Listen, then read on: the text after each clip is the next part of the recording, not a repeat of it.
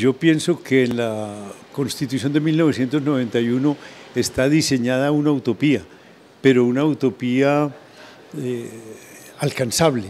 Es decir, hay una sociedad que allí se eh, dibuja que es una sociedad democrática, una sociedad más igualitaria, una sociedad pluralista, una sociedad incluyente.